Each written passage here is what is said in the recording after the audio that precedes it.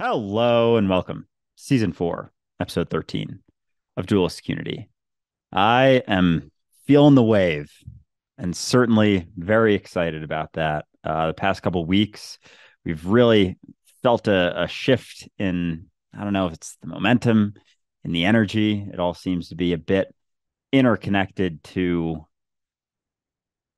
Ray and my uh, journey deeper into ourselves or at least recognizing what what may be happening here. Uh, so yeah, nothing but nothing but excitement from my end today. I'm in awe. Every day, more and more, I find myself in awe because, you know, it's funny. As we started dualistic unity, as we got into this conversation, I'm not going to lie, as you know, I've been on this path for a very long time. And so a lot of it was, hey, here's some review let's cover some things I've, t- I've thought about before or look at new angles of things that I've kind of fleshed out in the past. And so a lot of it's been, you know, catching up to everything that I've been doing recently in my life. And recently, it's been so very different in that I don't feel like I'm trying to share things that I've already explored. I feel like I'm actually exploring new territory. And I feel like I'm exploring new territory because of our fantastic community because of the community of people who are involved with us because of what they share, because of the vulnerability that they bring to the table. And frankly, to reference the last time our guest was with us, the community is holding space for me. They're giving me the room and the understanding and the capacity to explore myself without judgment and to be myself and to express myself in an environment where everybody's just trying to take what they can out of it Nobody's judging me for not saying it perfectly. Nobody is judging me for not being a teacher or perfect in, in terms of spirituality or anything else, because God knows I'm not trying to be. But it really is just freedom. And as, as fun as it has been for me to explore my freedom in myself, it is so much more fun to explore the freedom in myself that's spilling over into the community that's forming around that freedom as everybody explores their own freedom. So I just want to say thank you to everybody. Whether you are part of our community right now or not, you are. If you are having this conversation, if you're exploring yourself, if you want to be free, you are as much a part of this as anybody in dualistic unity. So thank you so much for your journey. That all said, one announcement, just one. We have the Netherlands retreat coming up in November, November 11th to 19th. There are still 28 tickets, but they are moving fast. We've already had six sold. If you would like to join us, the tickets are going to be available publicly as of March 1st, or you can get early access to them on Patreon, as well as discounts for each individual tier on Patreon. There's $50 discount, $150, and a $300 discount. So it's well worth it. You get some merch, you get to talk to us five days a week. If you're not on Patreon, it is the absolute core of dualistic unity and everything that we're doing on to the conversation that I've been looking forward to all week long. We are joined by Ariel June. Uh, she was here in season two, season two, episode 11, which we, of course, entitled Holding Space. Uh, Ariel is very much in the same conversation that we are in to a large degree. She talks about the realization of freedom. She talks about transformation, integration, which is by far one of the most important parts of this conversation, uh, expression, and of course, the realization of our inner power. So everything that she communicates is very much in line with everything that we are very much trying to communicate, except that she does it in a totally different way, which in a lot of ways I find to be very endearing and very easy to understand. I find the way that she communicates comes from her own life's work rather than just from a book. And because of that, it's easy to apply. So without any further ado, welcome, Ariel. It's nice to see you again. Oh, what a beautiful introduction. Thank you so much uh, for having me here today and for seeing me, for witnessing me in the work I do. Really grateful for the work that you two do, the community you've built, and these conversations you're having. So it's an honor to be here with you. Yeah, super, super excited to have you. I know uh last chat was was a ton of fun. So would love to hear just a little bit. That was when uh March 2022. So almost almost a year ago this point. So I know you have your own podcast that I think was just starting when I think you had just released, or, or maybe had released one or two episodes at that point. You know, have a number out there. I was able to to catch a couple episodes this past week. Absolutely love it. I think the conversation you guys, uh, you and your partner are having is is very similar to what's going on on Dualistic Unity. So I really appreciated all of the conversations and the willingness to explore certain things without necessarily clinging so tightly to uh to anything um so there's a lot within you know what i what i listen to you guys talk about uh, that I'd love to discuss. But I would love to hear just how you've been since you know how how your last year's been, how that podcast is going. Beyond that, um, how your work is going, and just how your life's been. Oh man, where to start? This last year has been so wild. Uh, a lot of growth, a lot of learning, a lot of community, a lot of um, nervous system regulation, uh, so much there. But uh, I feel like the biggest piece over the past year since we last talked really has been around uh, for me around the notion of community. Ray i love the way that you spoke to the community you all have here uh, and what you're cultivating to be in a space where you can be with other people who are on this journey um, to like really dig deep into these conversations in a very non-judgmental way. Um, and i feel like that's been a huge it started with a, a, a, large desire of wanting more of that community and over this last year and especially more recently really diving into more of that community with myself and my partner and um, our close circle. And yeah, it's really it really is such a gift to be able to be around people where you can just have these raw, honest conversations. So, really resonated with that as a theme for the past year for myself. Um, and beyond that, just so much more digging. You two know how that goes. This never ending digging, my own work, uh, supporting other people on their journeys. I work as an intuitive alignment coach. So it's been really beautiful over the past year to work alongside people who are digging into this work as well. And um, just digging, digging, and digging, and more and more in community. I feel like there's a million more things I could say, but that that summarizes the past year pretty well. That's awesome, and yeah, I can definitely relate to the fact that every time it seems like I've unearthed something that changes my life, there are a thousand other things behind it. so it's like, great, yeah. got to roll up my sleeves and get to it. Uh, I know the last time that we had this conversation, and it was a good one because it went on for two hours. I, I know that that episode right. was a fantastic discussion, but we talked about deconstructing belief systems. We talked about faith. We talked about empathy. We talked about allowing yourself to change rather than forcing yourself to change.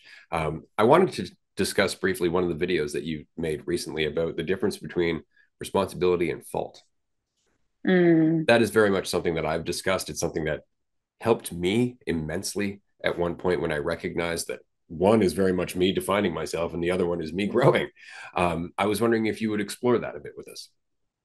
Oh my gosh, absolutely. I would love to. This is a topic that I think is is so crucial and I think it's one of I mean there's so many catalyst moments like within all of the work that we do and I would argue that one of the biggest shifts in all of this digging, all of this inner work is when you get to the point where you realize, oh, if anything's going to change in my life, I, I, have to take responsibility for it.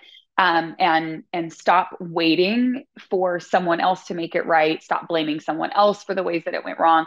And that's a really tricky conversation. I know you two have had those kinds of conversations, and as you know, you start to run into territory that's really tricky because there are a lot of people who have experienced uh, a lot of trauma, a lot of wounds that have gone unrecognized, um, a lot of hurt that hasn't been validated either individually in their lives or societally as a collective. And so, getting into this notion of personal responsibility is so nuanced and so tricky.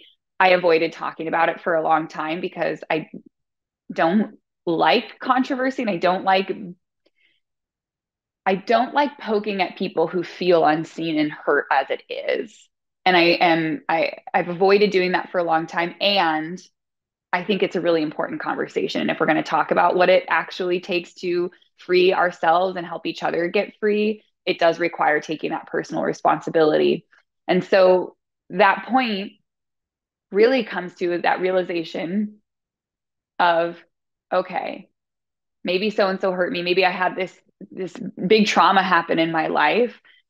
But if anything is going to change, it's going to be because I decide to take the action toward healing. I decide to take the action toward creating a new way of being. I decide to take the action toward uh, anything other than the cycle that I'm stuck in.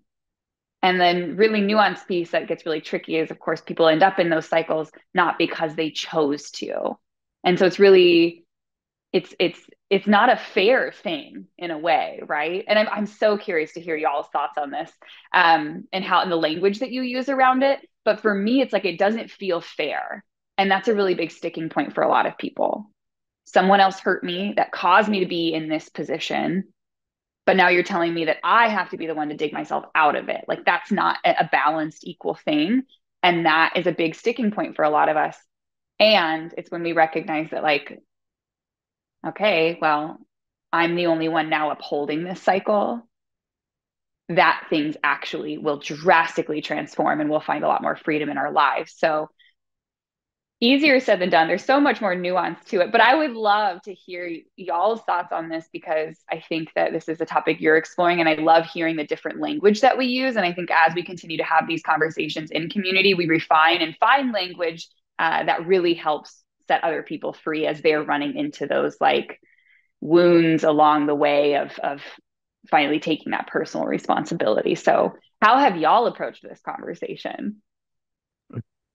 I will start things off. I know Ray has some uh, some some thoughts on the word fairness, so I'm going to leave that to uh, to him. But I think, in my experience, this is definitely something that I've evolved with. I think is initially because because sometimes I'll get because I do you know one on one coaching and we do all our groups and we do all all these chats with a lot of people and I think something I've gotten I guess better at is initially recognizing or doing my part to recognize why it makes sense that they're doing the things that they're doing as opposed to immediately right. trying to get them to recognize that they don't have to hold on to it. So so instead of trying to get to a place as quickly as possible and help them like as much as possible as quickly as possible, it's like building more of a foundation of I guess a sense of of comfort for them, but but not I don't like the word comfort. Just just seeing them for where they're at and experiencing that empathy kind of with them and really understanding and doing my best to put myself in their situation and think why would i why would i act this way? Why would i feel this way? Okay that totally makes sense.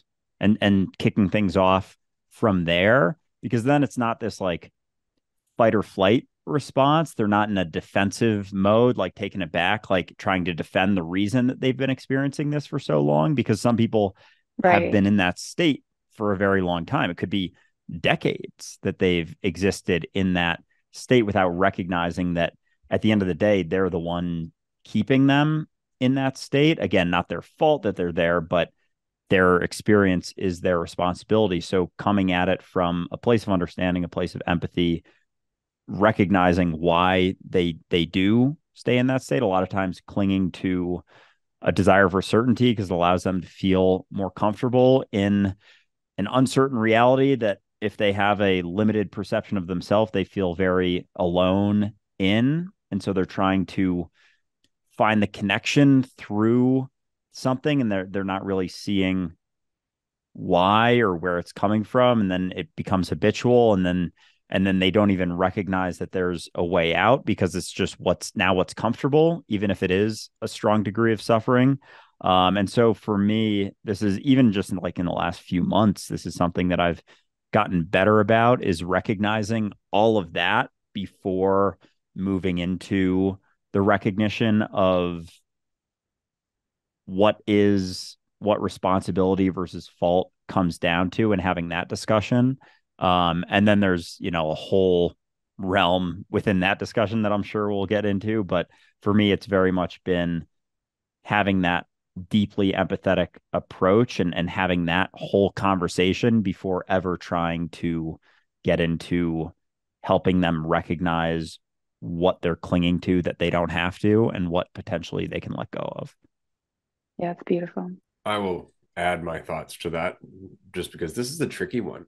It really is because I know from going through it myself, like what I have to change and they don't there's so many different ways to tackle this. I think it really helps to to try and remember first thing that that we said in the last episode that you joined us for, which is that holding space, is giving them that that place that they can talk to you, that they're not being judged, where they can look back at their past, at the things they've gone through, without necessarily feeling like they need to defend themselves. And then when you're in that space, like Andrew was just saying, then it really comes back down to this this idea of what the world is right? Because a big part of that idea of fair is unfortunately not based in reality. It's based in commerce. It's based in trade. That makes sense a fair trade for sure. But reality itself isn't like that at all. And, and so i try to i try to get down to brass tacks with people at the end of the day especially when they're like well it'd be great if this person could recognize what they've done to me. Yeah it would be. It would be great. It would feel really good for a short period of time, and you might carry that memory with you. But are you willing to sacrifice all the moments between then and now? Because they may never see it. They may never see it, in which case, are you going to wait? And that's on you. Like that's the problem. That waiting is on you and you can you can change it you can do something else with your life you can disempower that entire memory but you have to do it for you you have to let go of them Oh, so well said. So, so well said. It really, yeah, that personal responsibility piece comes in so strongly that where you realize, like, oh, yeah, I'm waiting. I'm the one waiting. But I love too, Andrew, what you said of um, acknowledging and really, um, I mean, what I hear in there is a lot of accept, like self acceptance and even a lot of gratitude. Uh, this is one process that I work through with my clients a lot is when we're looking at behaviors of like why am i doing this like why am i stuck in this pattern why am i stuck in this cycle is exactly what you said acknowledging like well when did you learn that? And at that point in your life i guarantee i haven't i haven't worked with anyone yet and i haven't worked in my own process and ever found that that be- pattern behavior cycle wasn't helpful at some point didn't serve a really uh, integral role in my survival at the very least. And going back to that place, whether it's like a memory in childhood or a memory from a few months ago or however long ago or recent ago it was, to acknowledge, like, oh, that really served me well at one. And that gratitude that comes from that of like, oh man, that was me looking out for me. Okay. Coming from that place, as you described, Andrew, I think is so much more um, it's gentler, it's kinder, it's more compassionate, but it's also just like uh, easier than as you said, putting someone in fight or flight and being like, why do you, why are you doing this? I think coming from that perspective is, is that approach is really important, really, and a gift to give each other, right? We're all just trying to help each other get free to offer each other that gratitude and compassion and understanding is, uh, is so crucial to really to helping each other get free. We're not going to help each other get free if we poke at each other's defenses and then like never talk to each other about it again, right? So creating that space for each other looks has to be really gentle and compassionate. Agreed. I have a question kind of going in a different direction uh, because this is something that I notice Andrew and I deal with more and more. And it's because, well, everything that we're talking about sounds great. Um, we do use concepts to try and communicate that. And every once in a while, somebody will jump onto the concept and forget that it's pointing at a reality that the concept is not. And so a, a good example would be somebody earlier today was asking about being in the present like you know the way that you communicated it sounds almost magical. And i'm not sure if i'm necessarily down with that. And immediately we're like okay hold on. Obviously we've we've woven a bit of a narrative here that we need to dispel. And so i just wonder because i truly do believe this is something that happens all the time. We confuse the concept for the reality. How do you find that you get through that minefield as it were? Because it's so very hard especially when we're suffering to not want to grab onto something as the answer to that suffering, but it's in grabbing on that we perpetuate the suffering. So I'm wondering how you deal with that. Mm. Oh, that's a good question. So the question is how how essentially to not cling to the concept as a, a sense of salvation. How to help your clients not cling to the concept. Oh, I think it all comes back to me a conversation around certainty and our obsession with certainty and wanting the right or wrong answer. And so I find I just have conversations over and over and over about letting go of certainty. That's like the short answer. I feel like I could say so much more, but that's that's really it. Um, and then on top of that, always is immediate immediately follows is the com- the conversation around how we deal with the discomfort that then comes with the uncertainty. So nervous system regulation. So it's like, why are we obsessed with clinging? Okay, we don't have to cling. Now my nervous system's upregulated though, because I don't know where the ground is. Okay, so how do we regulate the nervous system? And that is a conversation I find I come back to all the time with my clients. I literally had a call with a client earlier today, and I was like, okay, did you hear that though? Like what what's going on with right there with this like this desire to like hold on? And they were like, oh, certainty. Like, you know, it's just something I also like to uh, bring greater awareness to like really zooming out, not just being like, oh, we're clinging to certainty again. Like, how do we navigate through that? But like, hey, can we zoom out even further and notice this pattern of like our obsession with certainty? And how do we prepare ourselves because we're probably going to cling to certainty again? So that's the that's how the conversation goes over and over and over with myself as well, whether it's my clients or me. I'm like, oh, yep, wouldn't that be nice if we had some certainty? You're okay though. We don't. As a follow up, and then I'll pass this to Andrew shortly. Because of that, because of the fact that you have to continuously not just remind your clients it's all about uncertainty. We don't really know anything. These are just pointers, but you're also admitting that you do the same, that you have to keep yourself in check, that you go through the same cycle that they do. And you're always coming back to this recognition like, right, I don't actually know in terms of a concept. Do you find, because I find that most people who are in this industry, if you want to call it that, people who are having this conversation, um, they will often try and steer clear of that self disclosure because at the end of the day, it kind of undercuts the egotistical assumption of them as a teacher and it takes away from their ability to posture. And so to me, it's super important all the time to be doing that, just crushing that idea of me, right? Over and over. But on the other hand, within reason, because if you do it too quickly or if you do it too hard, the person who is looking to you for some sense that there's a direction that will work will actually feel defeated. So I'm wondering mm. how you balance that. Yeah, I mean it's a great it's a great question. It's totally a balance when you're holding space for other people because uh, ultimately you want them to feel confident that you can hold that space for them and that there is some promise of um, you know, not certainty, but like that it gets better, that we get more free and that like you're holding holding that hope for them and, and, and are serving as an example of that. I'm not perfect at it though. And I love being honest about that honestly most of the time when i you know disclose my clients that these are things that i still have to work with the feeling that is expressed from them is like relief and comfort of like oh okay i'm not alone in that. And uh, i i also while i say that say you know you just get better at it it doesn't go away right? Like i our, our, desire for certainty doesn't go away. Like we're working against millions of years of evolution that want us to grab onto anything that might uh, contribute to our survival. And there are a lot of things that contribute to our survival. So we're constantly clinging for things. To undo that in a matter of like 32 years is probably not going to happen. Um, but you get better at it. Oh, the thought comes up. I want to cling to it. Oh, I want to cling to it. And I let it go. That gap uh, between me and the reaction to wanting certainty and to wanting to cling to certainty just extends. And it's like, well, I see the desire. That doesn't mean I have to do it. And if I start to do it, I know how to lovingly like pry my fingers back, which actually doesn't look like prying. It looks more like holding space for my like the terrified child that I am and being like, okay, and then she'll release and let it go. But uh, yeah, so I find that navigating disclosure, especially when working with clients, is just balanced by uh, that. Well, that honesty is then balanced by also giving them some sense of hope of like you do literally get better at it I have evidence, years of evidence of that now. It's the same things. I'm just better at it over slowly over time, like any other skill. It's a muscle, right?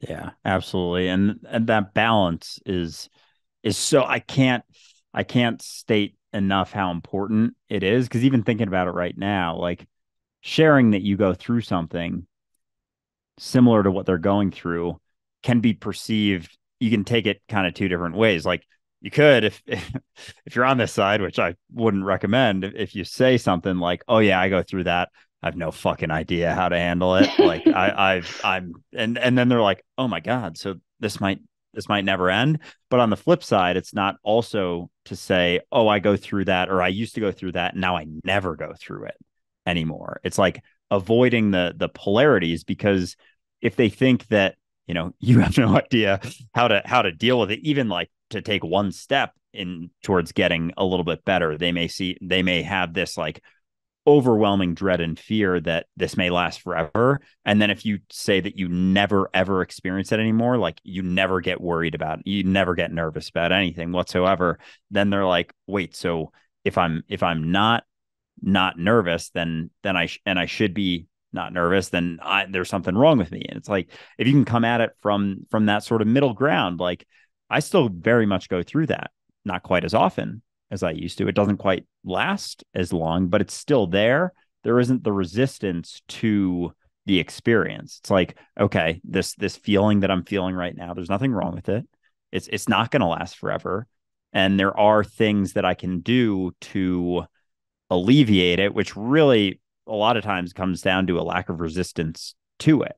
And so anything that perpetuates that resistance or instills a sense of fear like that it may last forever is going to take them in the other direction. So it's kind of allowing them to see you as an example of someone who has gone through it, still goes through it, used to go through it, maybe way more. You know, you have all that experience to grab onto or, or reach back to. But then right now, you still very much go through it, but it isn't quite as bad. It allows them to see that, oh, this isn't going to last forever. I don't have to resist it because there's nothing nothing wrong with experiencing it. It's part of part of this experience, the entire spectrum of all the experiences, of all the emotions.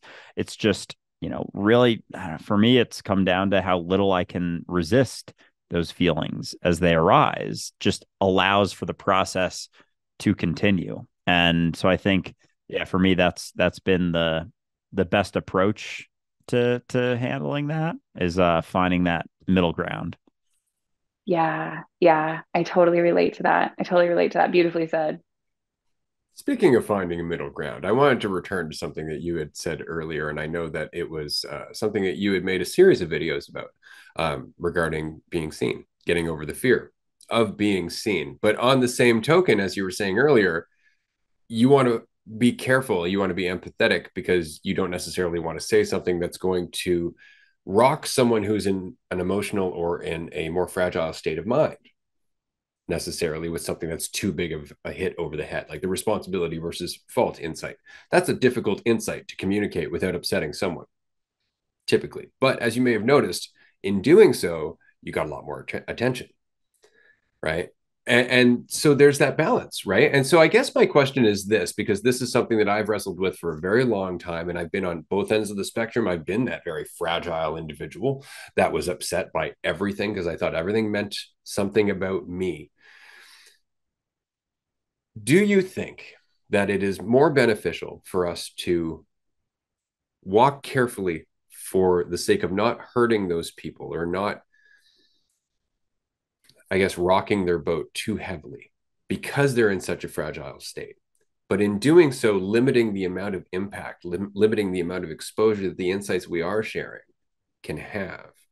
Do you think that that's a better idea? Or to not limit that exposure and risk rocking those boats a little bit more? Because it really is a trade. It really is. And it's it's a balance because on the one hand, rocking boats is really comes down to how you deliver too sometimes it's not just the insight you can soften it a little bit so i wonder how much of a consideration that is for you because i know being seen often means being seen by both ends of the spectrum yeah you don't get to decide which end of the spectrum which side of the internet that ends up on when you share it's so true. I am dying to hear both of your answers to this. So I'm going to turn the question back to both of you. And I'll just be really honest. It's something I've really struggled with.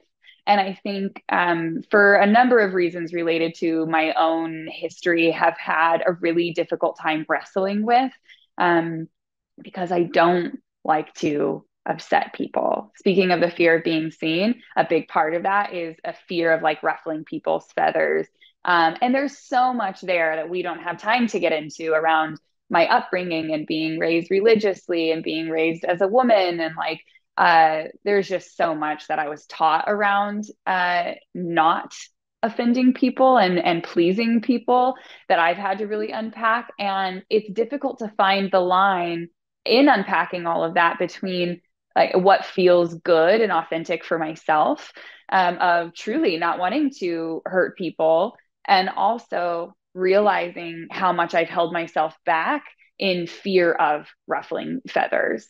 Um, and so it's something I, you know, I've been working more recently, uh, the last like year. Um, I really spent a lot of time working with, uh, which this is a whole other rabbit hole we don't have to go down, but the notion of like divine feminine energy, earth element, water elements, um, a lot of spiritual practices around all of those that I've just found really intriguing and interesting and have been really, really supportive to my healing process. And coming out of that, I've realized how much more um, I feel like it's time to reinstate my own fire and come back to working with the element of fire. And um, that's been a, a, more recent, like within the last month or two, that I've been like, okay, it's time. Like I feel there's a more balance in this, the earth, the water, uh, the divine feminine, all of that. Um, there's a lot of healing that took place there, and I'm feeling this like draw back toward the fire and um, just like totally like shedding fear of of ruffling feathers is i would say a part of that all that said i'm just going to be perfectly honest and let you know i don't know the answer to your question. I don't think that i found it yet. And i love that you asked it and i love that i now i'm going to make you both answer that question.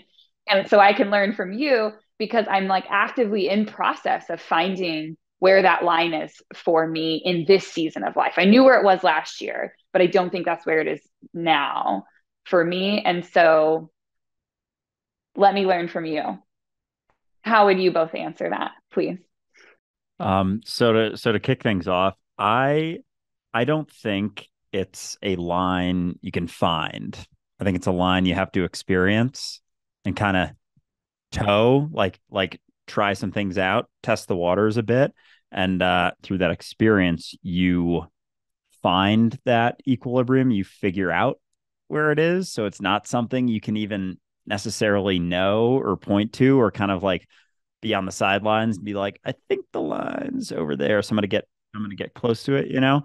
Um, that being said, I think I uh there there's a few things that have helped me dealing with that. I think certainly understanding that my value doesn't waver helps if I if I put something out there and it gets a visceral reaction because I've done that many times and I get many visceral reactions from different people, especially you know on the religious side of things. Um, understanding where they're coming from and kind of understanding why people react in the ways that they do helps to see that oh i didn't i didn't do anything wrong i just i just said something that kind of questions something they hold very tightly to their identity and they cling to super tightly, you know, as opposed to holding it with that open hand, they're holding on really fucking tight.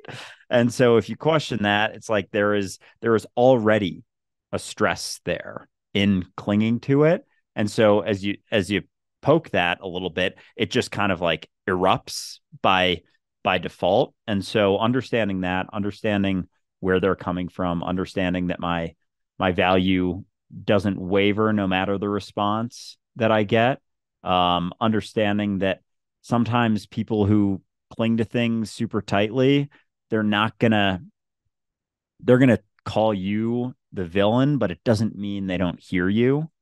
And sometimes the only way to get through to certain mentalities, certain people is to initially rocks and boats. I know we have some people in our community who, especially, have gone back and forth with Ray, and and they are now, you know, fucking love the podcast. And initially, it did not start like that. And if Ray hadn't been willing to question them or, or say something that goes against something they believe so tightly to be the truth, they would have never had the opportunity to let go of that.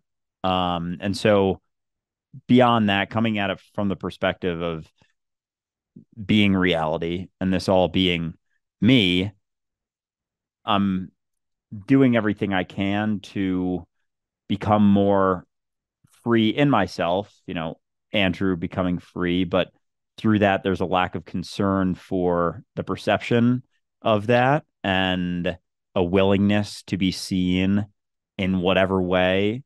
Um, if it means that someone has the opportunity, not saying that they will, but is given at least the opportunity to let go of something that is hindering them from recognizing that they're not what they think they are. They're not the story that they tell themselves. Um, and so and so there's a willingness to be seen in whatever way they need to see me in order to at least have the opportunity to recognize that. Good answer. Um, it, there's so much in this question. I, I think a part of it is um, driven by you, and another part of it is driven by an understanding of other people. Like I, I am aware of the fact that there is a mentality that I can exist within wherein nobody can help me, where everything is taken personally, everything is twisted into a narrative that is ultimately disempowering because I'm attached to the false certainty that goes with that disempowerment. I'm aware of that mentality and that you can't do anything about it.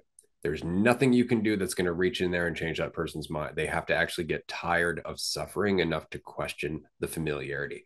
That's really all it is. And I spent so long trying to tiptoe around those people because I know what it's like to be there. It sucks at the end of the day, but it doesn't do anybody any good for you to not speak what you know is the truth in terms of how you became free simply because it's going to offend people who aren't who are not willing to be free yet. And it took me a long time to recognize that in trying to be empathetic to those people, I was actually being less empathetic to all of the people who couldn't hear me because of it. The people who were ready for that insight, the people who who were ready to hear it and do something with it, they weren't even hearing me because I was whispering for the sake of people who weren't ultimately going to use anything I was saying anyway. And so it came down to the recognition that you're always going to piss someone off, regardless of your intentions. So you may as well just do it if you know your intentions are to be authentic and vulnerable and honest and open, because at least then you're doing that. But there comes a point where you can't do that because you're holding yourself back for other people, and that doesn't help them. I feel like I'm getting a free coaching session from both of you out of this. Um, I'm joking, but also I truly appreciate both of your insights on that. Like I said, this is something I've been wrestling with anew in the last month or two. And everything you just said, Ray, Ray, really resonated with me and spoke. I feel like you were speaking to anyone listening, but for a moment, I was like, this is just for me and really needed to hear some of that. So thank you very much. And same to you, Andrew. I mean, you both have been very inspiring to me in that. And I've seen some of your videos, Andrew, that have rubbed people the wrong way. And I'm like sitting back, like watching, like, oh shit, here it goes. um, uh, and it's been it's been uh, it like a, a, beautiful lesson to get to watch you navigate that and continue uh, to show up as you are within that. Um, yeah, so thank you both for the examples that you serve of this. I think you're right. There is we do we do a lot. We cause a lot of harm when we hold ourselves back, and it's beautiful to be be reminded of.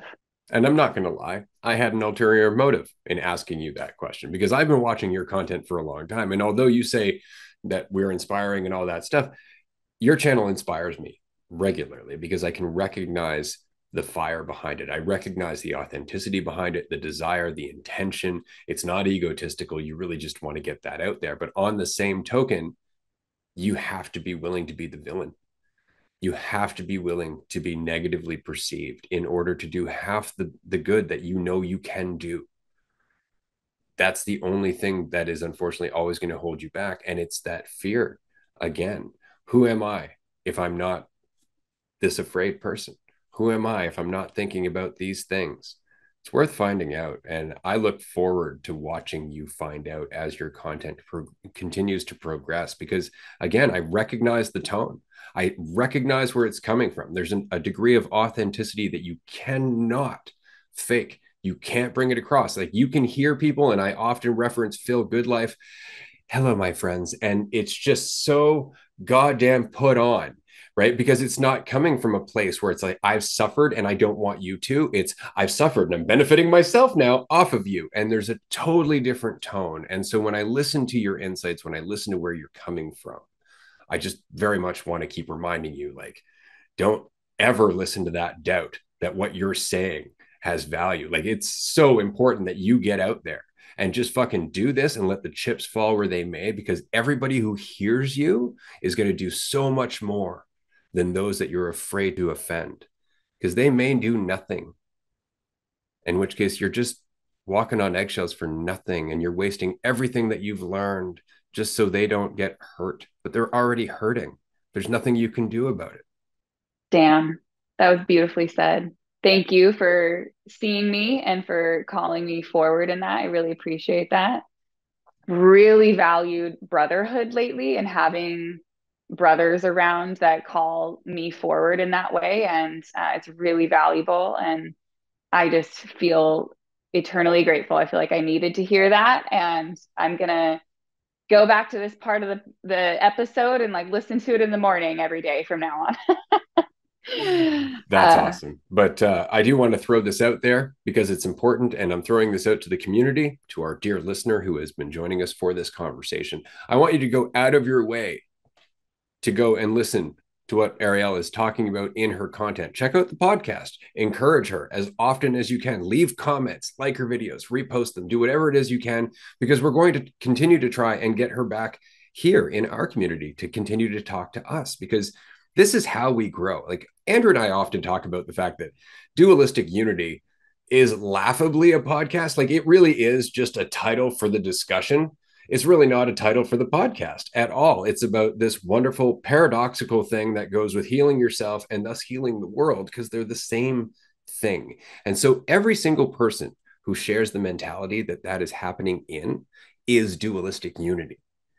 They are all what this is about. And so you are what this is about which is why we were happy to have you back on the show. But at some point in the near future, I would like to pick your brain and possibly throw out the idea of you maybe hosting one or two groups per month for us in our community.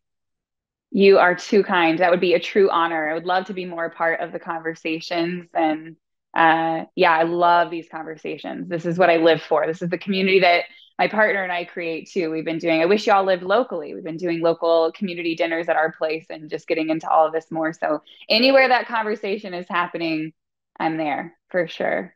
Awesome. I absolutely love to hear that. You will be welcome with open arms as uh whenever that day happens. But with uh with the rocking boats, going back to that conversation, um, because I enjoy it certainly. Um, but I've I've found a I found a balance with it. But I think um from from where you're at now, I see it as very exciting because there's a lot of people out there. It's not just a content thing, you know, rocking boats. There's a lot of people out there who don't feel heard and and are afraid to speak out in a family relationship or a friendship or whatever it may be and you going into this and and potentially being a little bit more willing to be seen in whatever way that people see you, which again doesn't have to do with you, there's going to be a whole fucking experience that you have in going from where you're at now to being more, at least even just a tiny bit more comfortable with doing so.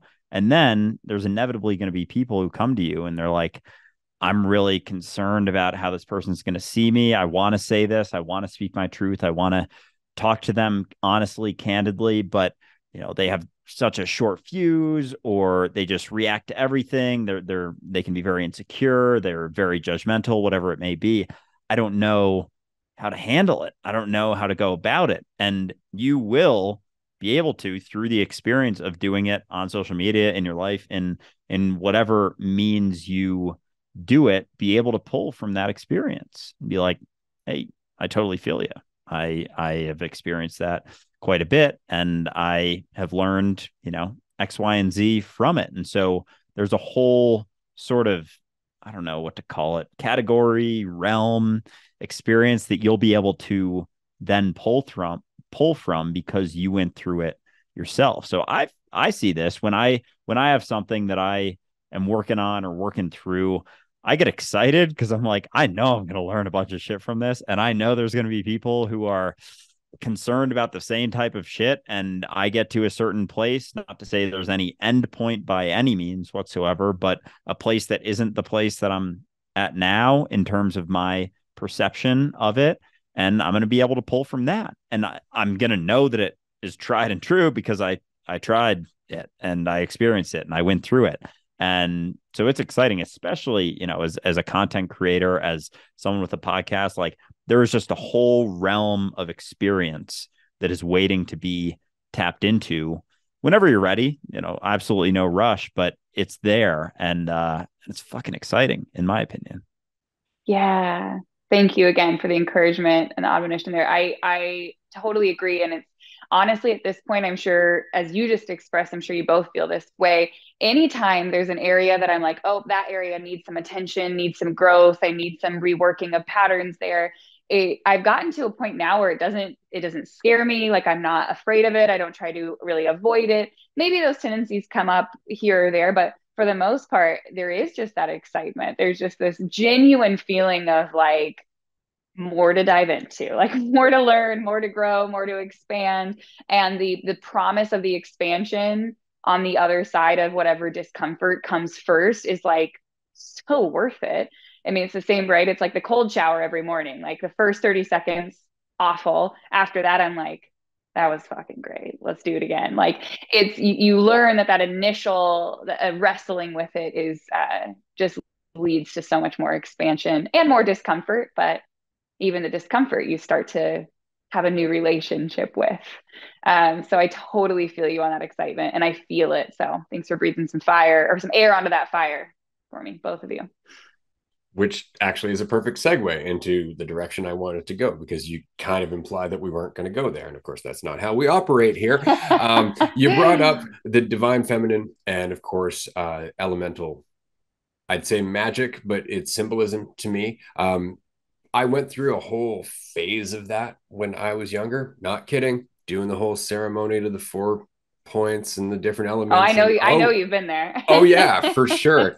Um, and it's not to say that there isn't value in that, but I think the value is very much personally de- derived in terms of symbolism and, and whatnot. And so, my question, because again, we kind of share a vocation. Let's just say, how do you deal with belief as a whole? Because belief is almost always reinforcing the problem that the person is trying to escape almost always. And so it's very tricky because you'll you'll talk to people and they've been raised with this idea of like well you have to respect people's beliefs like their beliefs. We're, we're all allowed to have them. And to get through that and go right just because you can have them doesn't mean it's something you should hold on to right? How do you breach that? And and and again i'm i know I'm asking this because of your mentality when it comes to empathy, when it comes to uh, wanting to understand where they're coming from. But on the same token, there is almost a shell that must crack in order for them to make progress. And I'm, I'm very curious as to how you breach that. Mm. So you mean more specifically with clients than with myself? Yes. Yeah.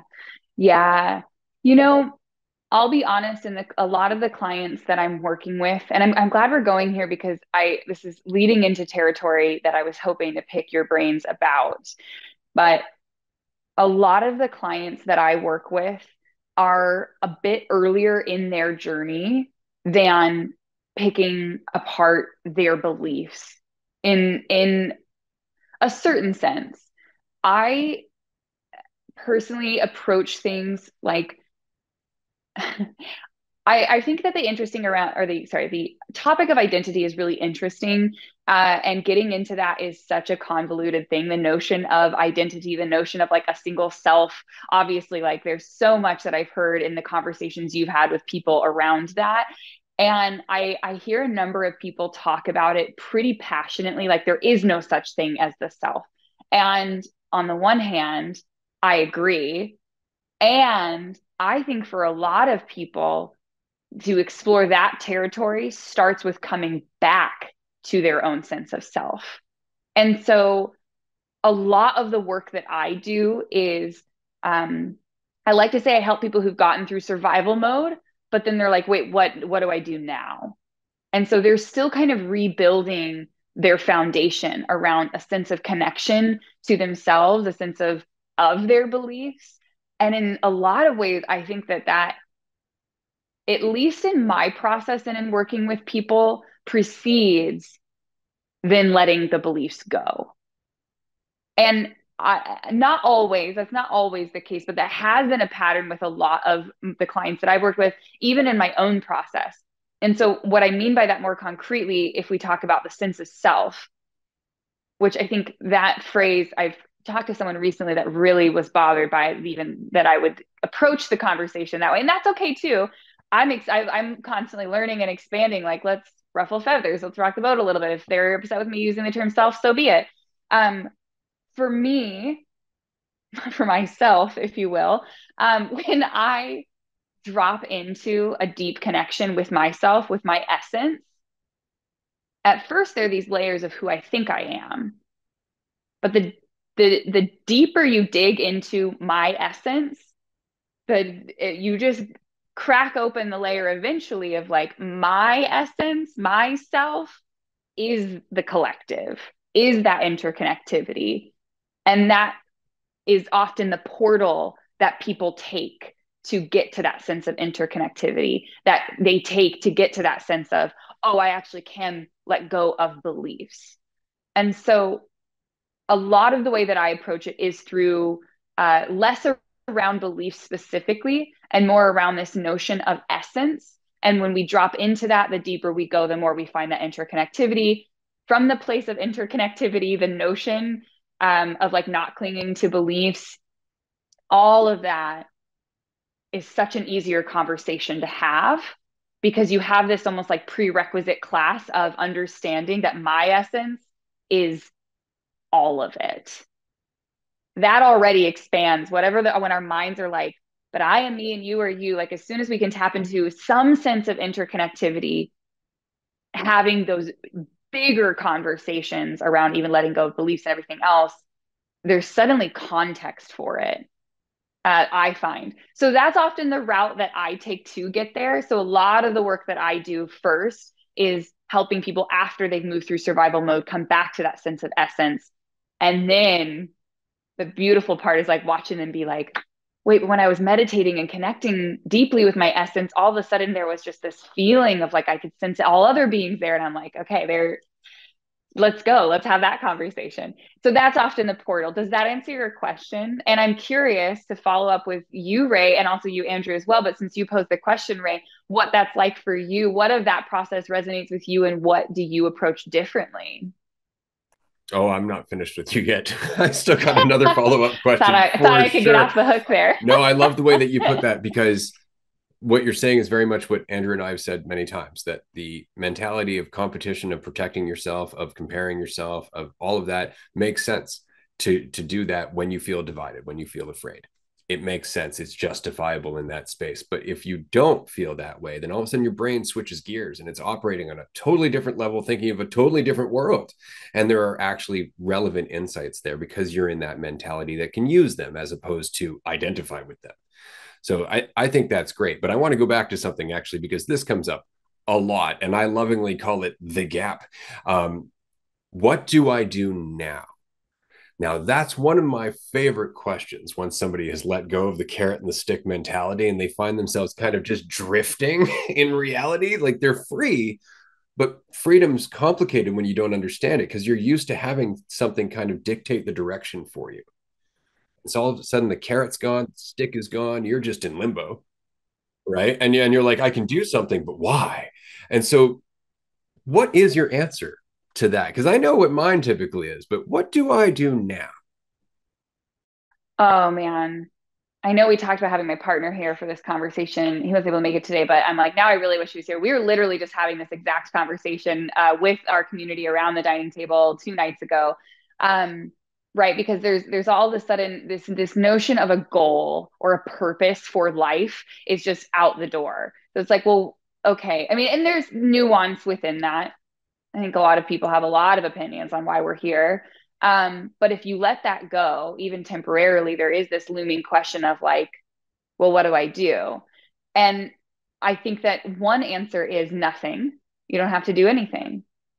And if I look at what will happen if I let my life just completely flow downstream uh, and and get pulled wherever by the current, I'm not I'm not in favor of that. I'm not in favor of that life. I could elaborate on that, but I'm guessing we all understand what I mean by that in terms of culturally, societally, what my life would become if I just went with the current in that way. It's not what I, I'm not interested in that. Okay. So I'm not just going to do nothing then. So what do I want to do? Take the next step. That's it. I feel over and over. It's like, what's the very next step? Well, how do you know what the next step is? I don't know. What can you not stop thinking about? What do you feel like you'd feel drawn to? Where do you feel that magnetism toward? At a certain point, it's like, I feel like that's a lot of the retraining of, of all of the work that we do is like, forget the five year plan, forget the three year plan, forget the one year plan, really practical, practical terms. There is this, uh, this movement to like, okay, well, if there isn't a carrot at the end of the stick, there's not this goal, this purpose necessarily specifically to the life I'm living. What do I feel immediately drawn to next? Uh, and I do think that that, in a way, doesn't require, but it's helpful if we're in greater alignment with our sense of self that we do have, with our what we align with. Um, I'm trying to not use taboo words here like beliefs or like self right? But like what is in alignment with what, what i care about with what i value right now? When we're in that alignment it makes that next step a lot clearer. Um, but i think over and over it comes back to for me and even as i talk to people within my community of just like trusting where your spirit your soul your being this lifetime feels drawn to immediately next but again, now I'm curious to hear how you would answer that. Or if you have follow-up questions, I won't I won't try to get myself out of that either. well, I appreciate that. I'm going to pass it to Andrew first.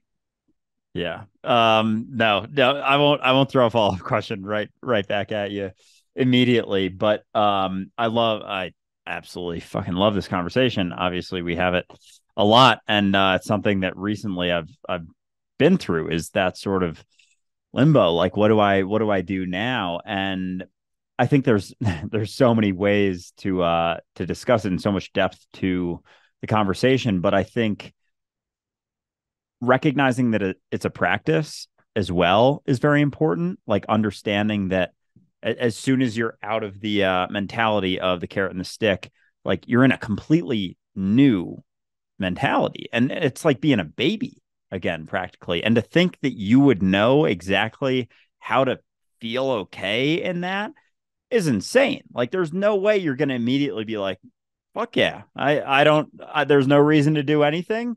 I'm going to do this and i'm going to be totally fine and i'm totally comfortable in this place. Like that's not how it works. It's like if you if you're a baby you're not immediately going to know how to fucking work a computer and hold a two hour long conversation. It's like it takes practice. And and this type of mentality takes practice as well. And a lot of people are avoid even delving into having the opportunity to learn it. They're like, well, what do you mean? I there's no reason to do anything. I'm just gonna go back to this other mentality and where I do have a reason to do this because I'm trying to chase that carrot that I'm never gonna get because it's hanging three feet in front of me for my entire life.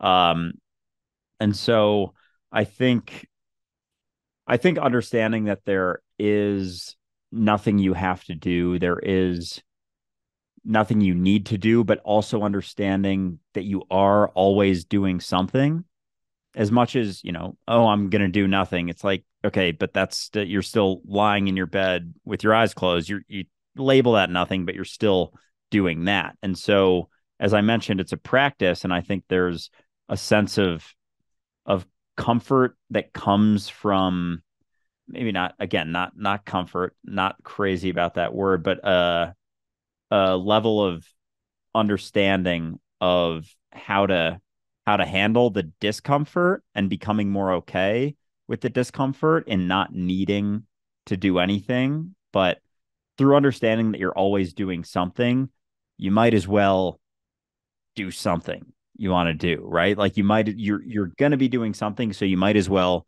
do that. Why do it? Why not? You can you can pose the same exact question. You can flip it on them and be like, "Why not?" Oh, I don't know. Okay. Do something and then all of a sudden it's not so much about why should I do this? Why should I not do this? What what should I be doing now? It's like letting go of the should. You start doing things, you become more comfortable and not doing it for that ulterior motive anymore because you recognize that no matter what you do, your value doesn't waver. So you're no longer striving to do things because it means something about you.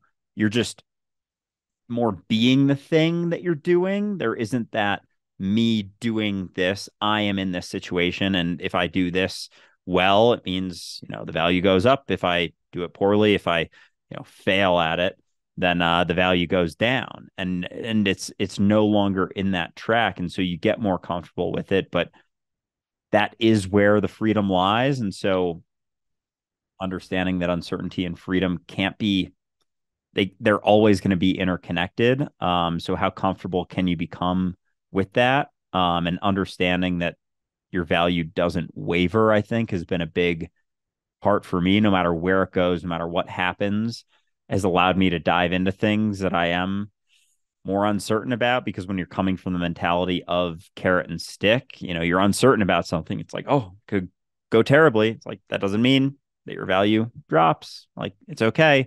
You can just sit in that. You can just be that situation.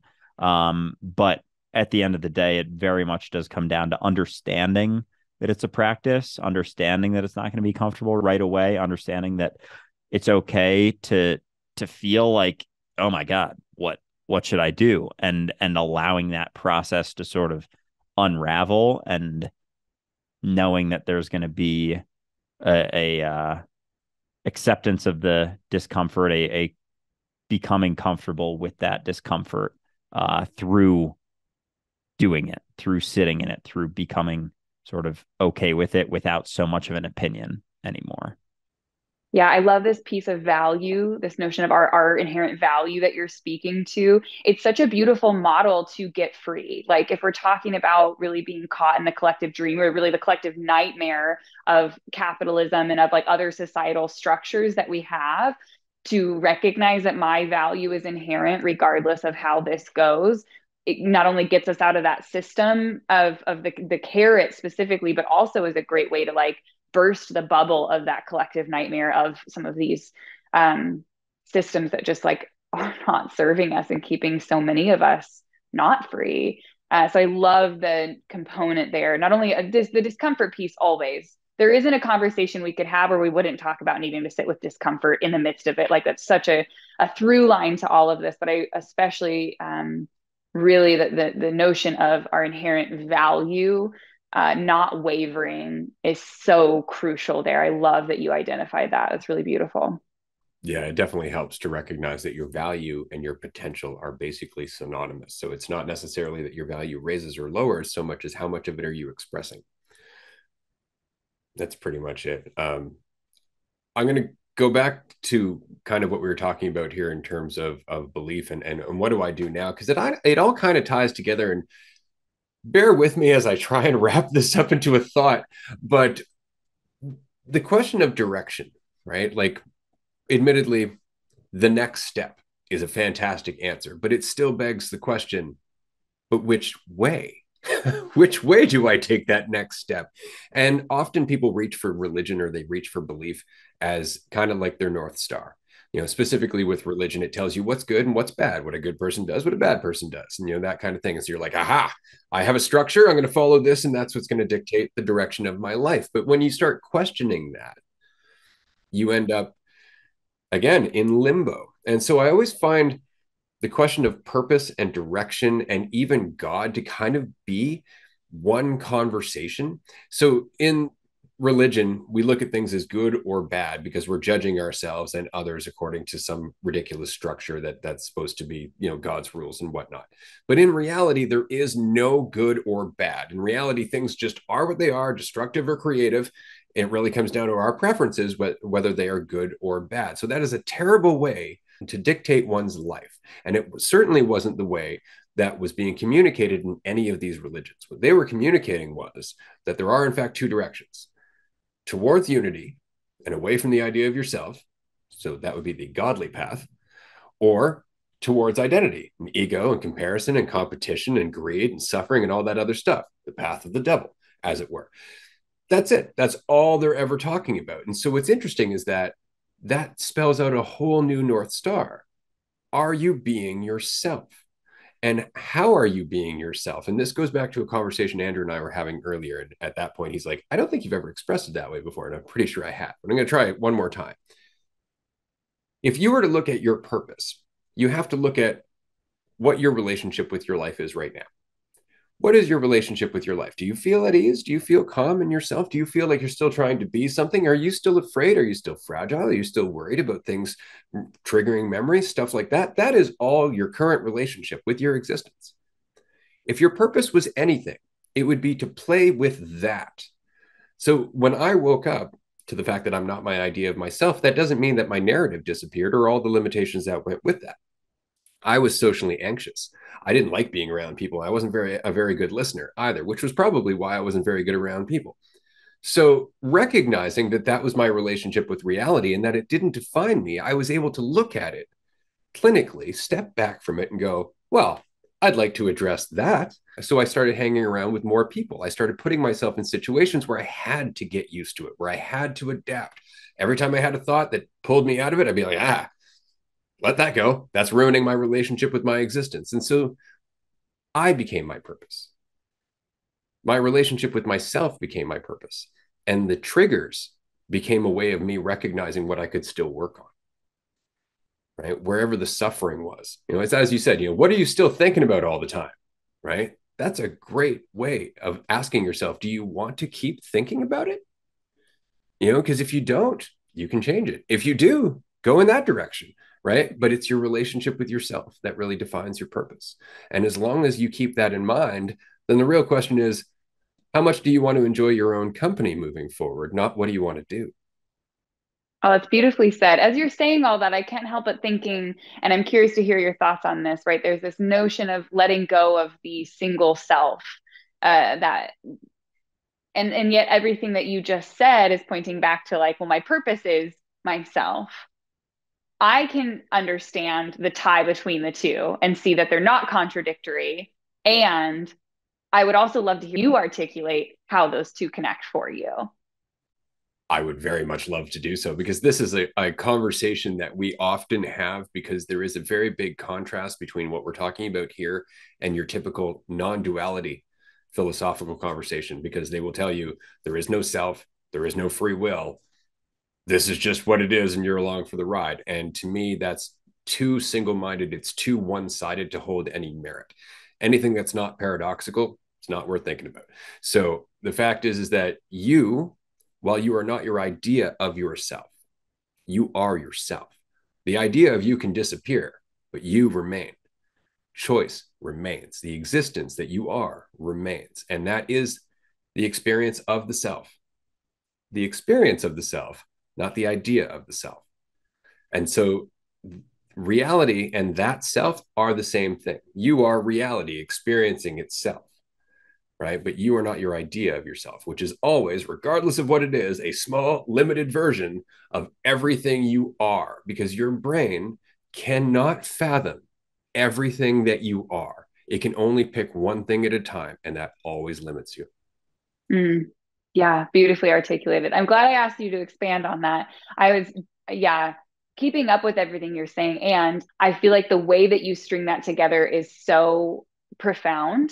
I mean, we're, it, it's, it's, it's really can be tricky to communicate to people what we're sort of like peeling apart here with a scalpel. Like we're just kind of like separating this, this understanding of the human experience and of the self. And so to separate out like you are not the idea of yourself but you are having the experience of yourself is such it's like i mean i know a lot of people that would be like what are you what are you what are you talking about? Like those how are those different?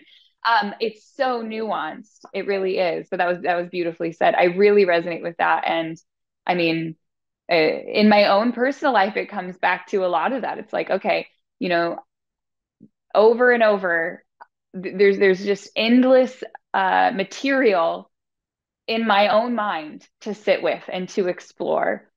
And we have the continuous opportunity to con- like set ourselves free and set ourselves free and set ourselves free. And you know the more we get connected to the sense of interconnectivity it's more like okay we're helping each other set ourselves free. Uh, I don't know where I've landed in terms of the terms of purpose and what I feel that it's all for. And uh, to the point I was making earlier about taking the next step, it's like that's where I continue to feel drawn. That's where a lot of people that I work with continue to feel drawn. That's where my community continues to feel drawn. certain point, there's this sense of like, okay, I'm just going to keep moving in that direction and know at the very least I spent a lifetime helping myself and other people get free. And it's a pretty enjoyable way to experience this lifetime. So there you it's go. It's a life of faith. There you go. Yeah. Fuck yeah. Fuck yeah. Ironically. Yeah. um, just just to go back to the the self no self thing, I'm gonna bring back a uh some imagery that Ray brought up uh a couple weeks ago um in the notion of that you're always yourself and never what you think you are. So I have this this drawing right here. Beautiful. This is this is us right now. So I didn't realize you were an artist.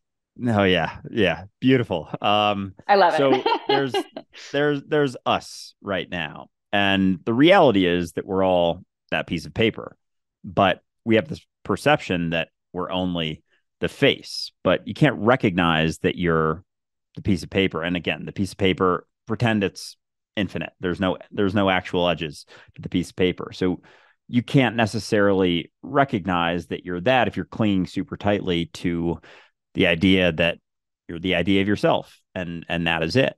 And so with the with the notion of self no self another sort of imagery i like to use is if reality is a blanket and we're all you know threads on it but the reality of us is is the blanket. And we have you know the the experience of a a thread but that in no way is divided from the blanket because without the threads there would be no blanket. And so the radical non-dual approach with this idea of you know there is no self it's like it's kind of like they're denying the entire blanket like the blanket doesn't exist. And it's like no there's there's an experience here now that it's happening.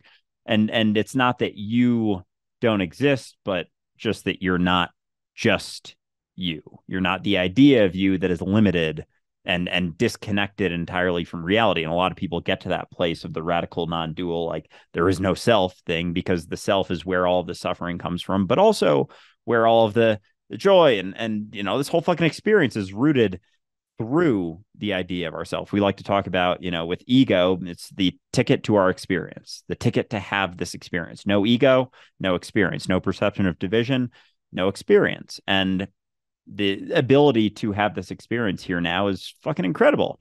It's it's awesome, but it's it's not to say that it should only ever be good and there should be no bad. It's like no, it's it's the whole spectrum all the time. And so with recognizing that you are not only yourself it, it, almost like the walls of you drop and you recognize yourself and everything but you have a sort of semblance of influence on that reality of yourself in like a, a localized point. And the more clearly you can recognize that you know either you're the entire piece of paper or you're the entire blanket or whatever it may be the more influence you have over that it's like the more you can experience recognize that you're you're that blanket it's like your thread kind of bleeds more into the rest of the threads the more you can recognize that you're that piece of paper the more someone else on that piece of paper that thinks they're just their face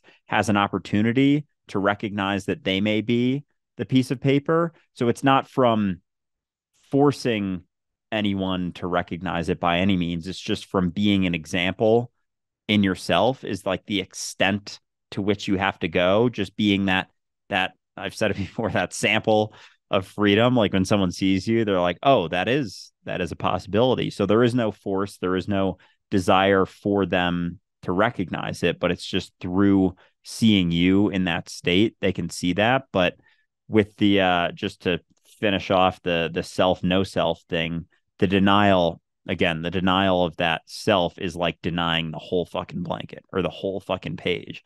Not to say that it's just to recognize that you may not be as limited to the thread or to the face as you thought. But again you're always yourself and never what you think. Oh i love the analogy of the blanket. Uh, and and acknowledging that our own freedom just living in that freedom is recognizable. There's not really a lot to do unless that next step you know draws you to express in some way which it often does for many of us but there is just that's something that i think about a lot is there's this i don't know i'm sure you you both have experienced this being out in the world and you come across someone who you can you can just feel is really free or really alive really dropped in really connected how whatever language you just want to put to it. And there's like a moment where you like make eye contact even if you don't talk to the person there's this like depth of recognition of like okay yeah i see you. I see you alive. I see you awake. I see you alert. I see you free. Uh, it, and it's this completely unspoken thing. I don't know um, i don't have a whole lot of belief around the notion of uh, energy necessarily but I, I am fascinated by what to continue your uh, your analogy andrew around the blanket like what we all contribute as we continue to get more free to this this awareness of uh, each other's aliveness.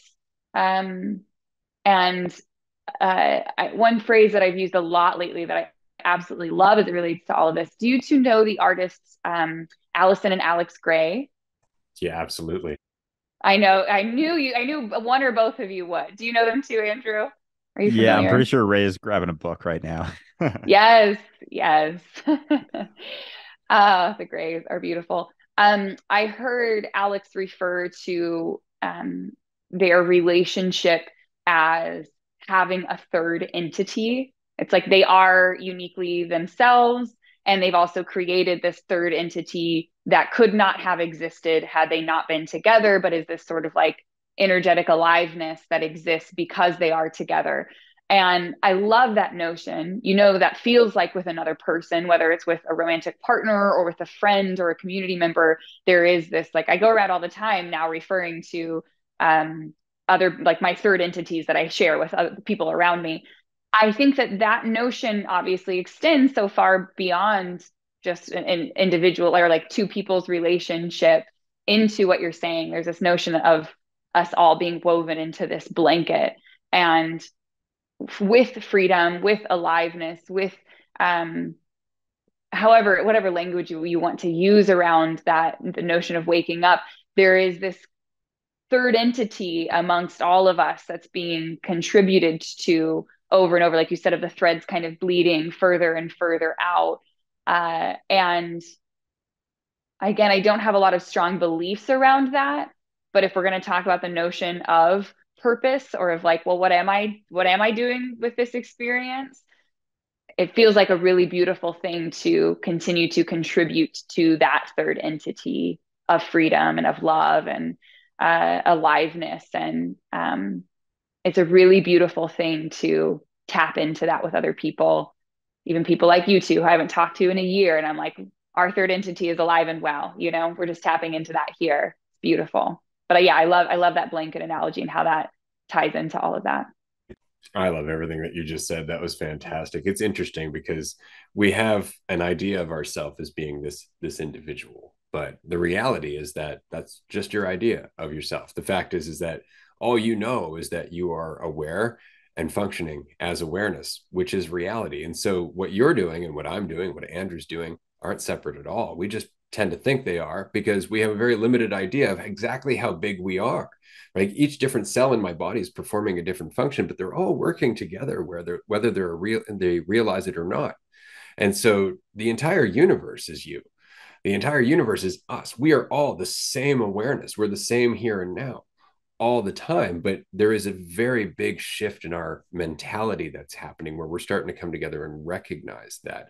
I know we do have to wrap up here shortly. Uh, i do have a question for you but i also wanted to mention we need to get you to one of our retreats one of these days. And the reason is because mm, the depth that. of that connection that you're talking about we experienced in a way that frankly blew my whole fucking mind at the last retreat because it was for nine days. Our retreats are nine days long. And in those nine days, there's just this progression of letting go. But because everybody's doing it, they're all amplifying each other.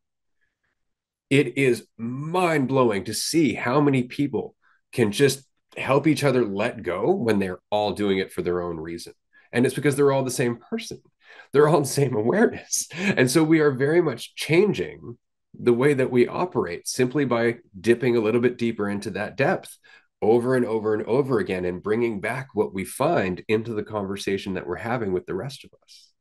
Oh, that's so beautifully said. I will I will have to join you all at some point honestly. I am uh, obsessed with communal experiences right now and exactly what you're talking about is again to use to borrow Alex Grey's phrase of the third entity or however else you want to refer to it there's nothing like when we all gather and have that same intention and are willing to drop our fears, our defenses, our discomfort, or maybe not drop it, but like be present to it and honest about it and enter into like, yeah, I want to get free and I want you to get free and you want me to get free and you want to get free. And we start to cultivate this deep sense like, I, it's so wild how individualistic our society across the board is uh, and how I mean, we don't have time. We don't have time today to get into all of it, but the the just the depth, the beauty, the freedom that comes from those deep communal experiences. The first experience I had like that, really had like that more recently, uh, like within the last year or so. I, I remember just thinking like, oh my God, like here, here we think like these individual healing journeys are so beautiful and so powerful and whatever, but when you come into that communal experience, there is truly, truly just nothing, nothing like it. Um, so I love that you all are experiencing that. That's really beautiful to hear. And yeah, I would love to be a part of that at some point for sure. Sounds gorgeous. Absolutely. Yeah, we will get you there one of these days for sure. But um yeah, just to just to close off the the discussion of purpose and and doing it, it's like once you recognize that you're the blanket just about being the blanket really and and in that right. recognition in seeing yourself and everything there there is no not to say there isn't no but there is there is a feeling that's that's a little bit deeper like a deeper sort of knowing a deeper sense of what to do when you let go of the idea that you should mm-hmm. know what to do or there's ever something that you have to do and in regards to community, when you have a number of people who are all recognizing that they are that blanket, there's there's something there, and it is palpable. Mm. What's what's the quote? The mm. whole is greater than the sum of its parts, something like that. Mm-hmm. It's very mm-hmm. much the case, and it is it is felt in a way that is uh it's tough to even describe. But yeah, it's it's like it's like coming home. It's like being home. Yeah. Really, really, and yeah. uh yeah, it's it's powerful what a gift what a gift of this human experience to be able to t- tap into that that feeling of collective home together yeah and it's incredible how long we forgot it was there for which is funny because the word religion actually the etymology is to bind together which i always found so interesting because what we're talking about is the only true religion which is none. That's what binds us together. I always find that so very funny. But i have a question that i want to wrap up today's episode on because we just recently had a uh, coaching and relationship building workshop for aspiring coaches that are in our community. I know you've been on this journey for quite some time and that you have faced various different parts of the coaching process building your business building your name getting out there getting exposure pushing yourself a little bit getting out of your comfort zone all that if you had either a tip or possibly a question for self reflection, something that has helped you as you've faced these various different hurdles and challenges along the road to coaching. What would it be? What would you leave the members of our community who are very much where you were, say, four or five years ago? Oh, great question. I the the first thing that comes to mind is not really related to coaching at all, but has been the biggest lesson for me in all of it is to stay connected and to do everything from a place of connection. That looks a little different from everyone, but when I try to go about my business any other way, it becomes it's so easy to fall back into like the carrot three feet in front of you, like trying to chase something. And for me, like doing everything from a place of connection. Like before I start my workday, I'm dropping in, and we all have different ways of what connecting looks like for us. So, whatever that looks like for anyone else, fine by me. But doing that first and foremost and making sure that every touch point of my business, of my sessions with my clients, of videos that I put out on the internet, uh, every single piece of it is is done from that place of connection.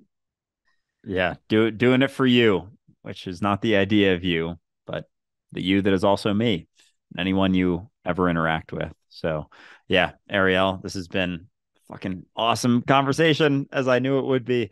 Um, yeah, I mean, people are gonna fucking love this episode. We covered a lot, and I really appreciate your authenticity, vulnerability as as as always that you bring, and that's you know that's that's what it's all about. Being yourself, deeply allowing yourself to be that is you know the greatest gift you can ever give to reality. So I appreciate you very much. Love your messages. Love everything you're doing. Looking forward to seeing you at a retreat sometimes sometime too and looking forward to our next chat very much.